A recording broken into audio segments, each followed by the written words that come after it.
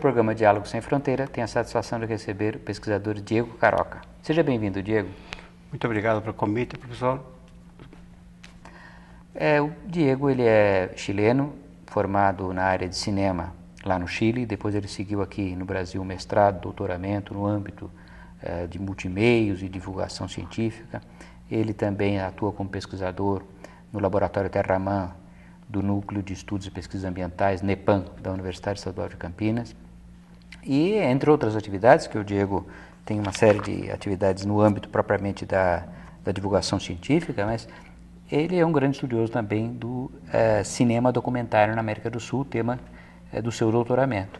Então, esse é o, é o, tema da nossa conversa de hoje, Diego, é justamente sobre o cinema documentário latino-americano. Então, eu gostaria de começar falando do contexto, digamos assim, do, dos documentários na América Latina. É, quando que eles se começaram, a, quando eles surgiram e como eles se tornaram importantes? Olha, de alguma forma o cinema documentário começa a surgir na América Latina, começa a surgir na década de 60, se reafirma dentro, durante essa década de 60 e 70. Anteriormente existia logicamente um cinema na América Latina que era um cinema muito de entretenimento e esse cinema, que supostamente era de entretenimento, era tudo eh, coordenado, assim, entre aspas, coordenado ou dirigido, entre aspas também, pelos os grandes empresários, monopolistas que existiam nessa época, que era justamente Estados Unidos, México, sabe, que tinham uma certa influência com respeito à distribuição de, de, de filmes para a América Latina.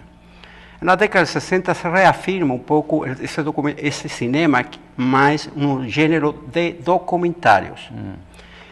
Esses, esse cinema começa justamente a surgir por questões de efervescência política que estavam acontecendo nos países da América Latina. Sabe que na maior parte dos países da América Latina estavam regidos ou é, governados por ditaduras.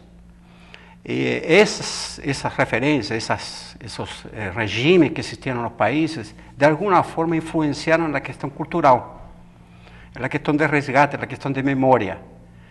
Eh, por que razão? Porque eh, o fato de o, os regimes militares de abafar ou de eh, coartar a liberdade, a liberdade, liberdade de informação não permitiam que se, que se fizesse um cinema dentro da, dentro da América Latina. Em alguns países, não todos. Sim, porque situações muito concretas. Exato, porque tinha países que era, a, a, a, ditadura era um pouquinho, hum, não sei se flexível, mas era um pouquinho mais. Eh, no caso do Brasil, por exemplo, sempre foi uma coisa muito mais flexível. Havia uma liberdade assim mais muito bem abafada, mas existia uma discussão que de repente você conseguia através dos dados de pesquisa resgatar esse, esse tipo de coisa.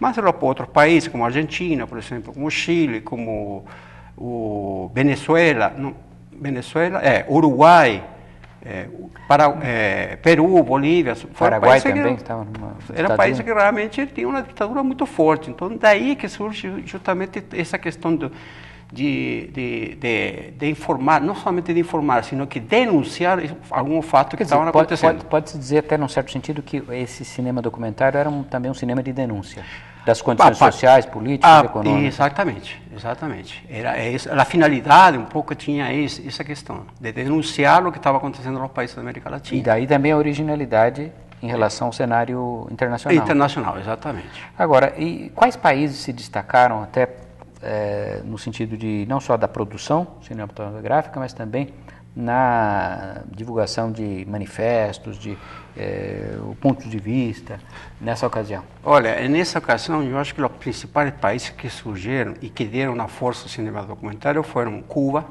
que já justamente já estava passando um processo de social, socialista. Sim, a revolução foi em 59, que você já refletia isso aí.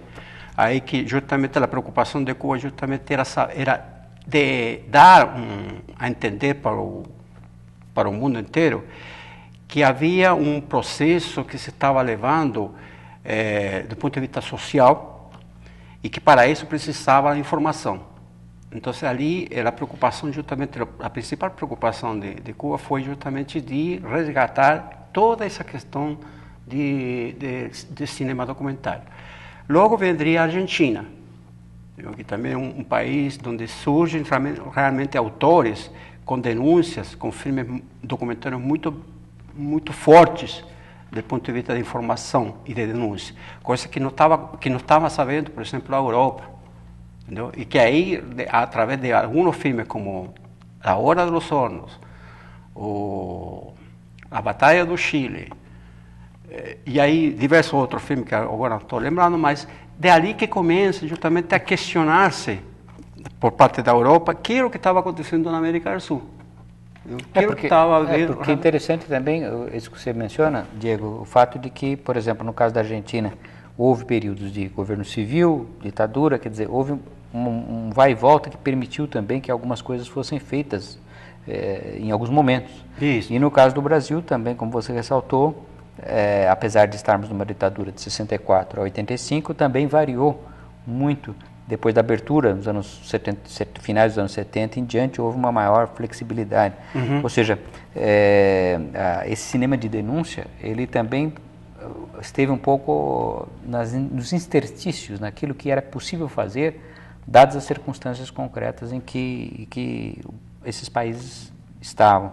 Uhum. Agora, é, uma pergunta também que eu te faria é a seguinte, Diego, é como esse cinema de denúncia, esse cinema engajado, a gente poderia dizer, ele chegava, e aí, ou chega ainda, a, ao grande público. Porque você disse assim que o, o, cinema que havia era o cinema de entretenimento. Isso. É, inspirado em Hollywood. E no Brasil, por exemplo, todo mundo lembrará da chanchada, quer dizer, é um tipo de é um tipo cinema de você dar uma gargalhada e tal, e, e, ao mesmo tempo alguns acusariam isso de ser alienante, quer dizer, você não se preocupar com questões sociais, políticas e tal. Então, aí a pergunta que eu faço é: e como esse cinema de denúncia, esse cinema engajado, ele conseguia chegar às pessoas? Como é que era a repercussão? Olha, no caso, por exemplo, vou falar especificamente do caso do Chile, que em algum momento, quando os países da América do Sul estavam, a maior parte estava baixo de ditadura, o Chile tinha um certo um certo tempo, um lapso de democracia. Uhum que isso permitiu justamente que muitos muitos eh, filmes documentários fossem conhecidos e distribuídos dentro de diversas eh, diversas instituições. Essas instituições recolhiam esses filmes e exibiam imediatamente, assim como também foi um, foi um primeiro festival do 62, 62 acho que foi eh, coordenado por Aldo Franz, que era um pediatra, um médico pediatra que gostava muito de, de cinema, mas cinema documentário, que reuniu justamente todos esses documentaristas em um festival em Vinha del Mar. Obviamente, essa, essa é uma forma de exibir, de, de projetar, de divulgar o, o, o, os trabalhos que tinham muitos autores na América Latina e que estavam baixo ditaduras. No caso, por exemplo, da Argentina, qual era a forma de divulgar isso? era através de sindicatos, através de agremiações, através de estudantes, hum. encontros de estudantes. E assim foi, assim foi sucessivamente, como na Argentina, com Peru, com Bolívia, com Venezuela.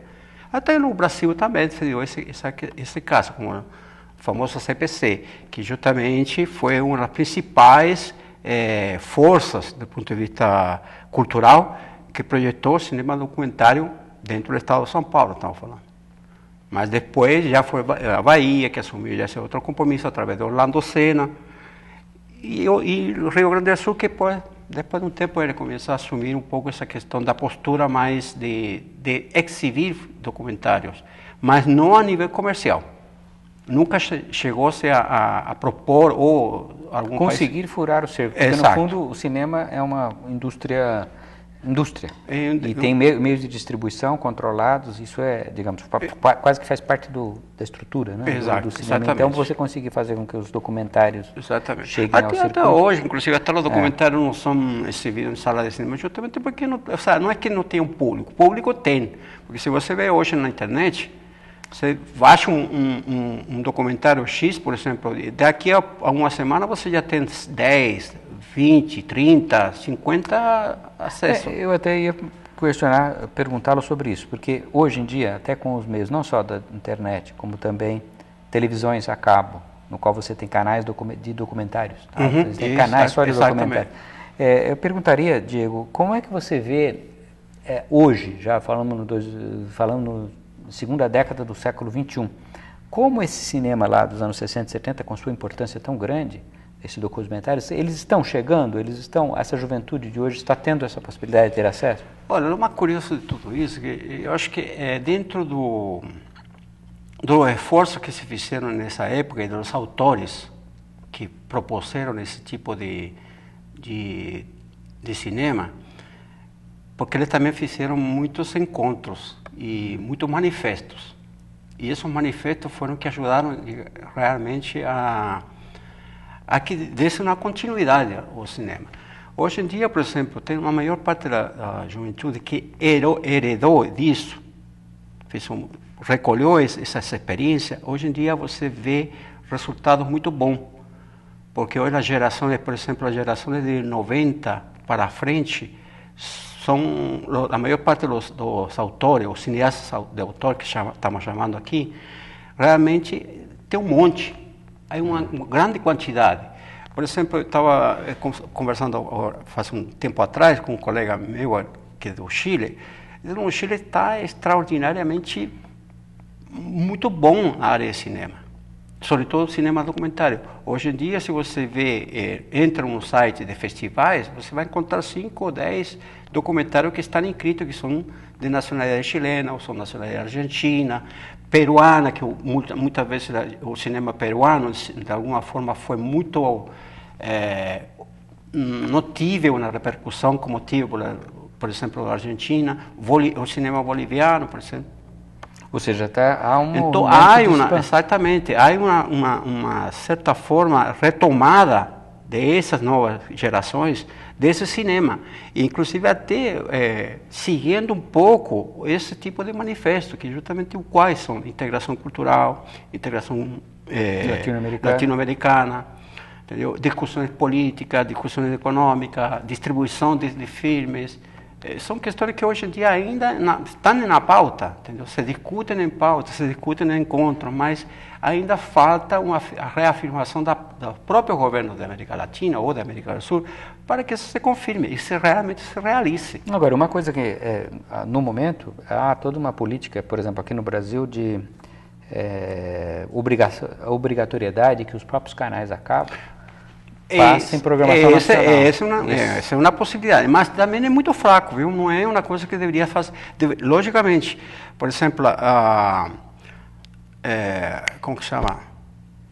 a que cuida, o organismo que cuida de fiscalizar esse ah, tipo sim, de coisa, a fiscalização da, da, da... não está cumprindo o, o, que deveria fazer, entendeu? Ou, ou se está fazendo, está fazendo muito assim em forma velada, ou sabe, essa coisa que não, não dá para perceber.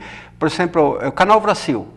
A exposição do canal, da grade do, do Canal Brasil hoje em dia é 20% de, de, de exibição de filmes latino-americanos. Hum. Ou outro, outro 20%, outro 40% ou são de, de fora e outro 30% são brasileiros. Sim. Posso estar errado no dado que estou falando, mas... Sim, mas no a, geral... Se você vê no geral, você vai, vai encontrar essas dificuldades, você vai encontrar essa coisa que não está muito afirmativa. Eu estou colocando isso por, por, por, o caso do exemplo da Europa, por exemplo. Se você tem um, um Canadá, um país que dedica a sua produção quase 70% Sim. nacional. E é um país com uma população pequena. E tudo isso tem ah. a ver com, justamente com a questão da informação, do controle de informações. Hoje em dia, por exemplo, o, o Aí, aí alguns governos se estão preocupando de, de, de, controlar a informação. Através de quê? Por quê? Por através da internet, porque a internet hoje em dia é a ferramenta mais forte que a televisão. É verdade. Olha, Diego, eu queria agradecer muito a sua participação no programa, porque é um tema fascinante. Tenho certeza. Aliás, é muito fascinante a gente poder estar falando muito essa questão, até porque, eu, como falo para você, eu acho que essa questão da informação hoje em dia é um ponto importante que não se está discutindo de forma séria. O caso, por exemplo, uma da proposta do laboratório no, do, do NEPAN é justamente que que a proposta tem, tem como, como objetivo é que os trabalhos que tenham desenvolvido, sejam desenvolvidos em pesquisa, elas têm que ser divulgadas. Divulgar. Então, mas não justamente- através da, somente da, da questão escrita, assim, também Sim, através da exatamente, que é uma maneira de atingir um público, inclusive, muito mais amplo. Exato. Mas, em suma, isso, acho que essas sua, suas observações incentivam o nosso público a refletir sobre isso e só por isso eu já agradeço muito o fato de você ter vindo aqui ao nosso programa, Diego. Eu sou que agradeço e muito obrigado e não somente agradeço por estar aqui, senão que porque esta foi minha casa, de alguma forma. Muito bem, Diego, agradeço muito e com isso convido a todos ao próximo programa Diálogo Sem Fronteira.